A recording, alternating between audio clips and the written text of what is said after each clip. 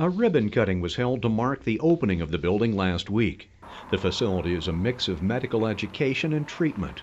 It combines the academics of OHSU with the clinical of Sky Lakes. The Sky Lakes Collaborative Health Center is four stories tall.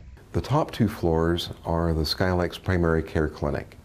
It consolidates five current standalone clinics into one location. The first floor has the expanded Cascades East Family Medicine Center. The ground level will be the Oregon Health Science Health and Science University's classroom academics floor. The $50 million project is one of the biggest in the history of Klamath County. It's a large investment, and we believe the single largest investment in primary care ever. Crews are still putting the finishing touches on the center in preparation for a major transition.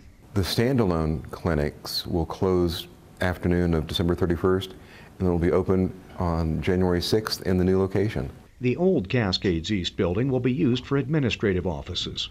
In Klamath Falls, Lyle Ahrens, NBC2 News.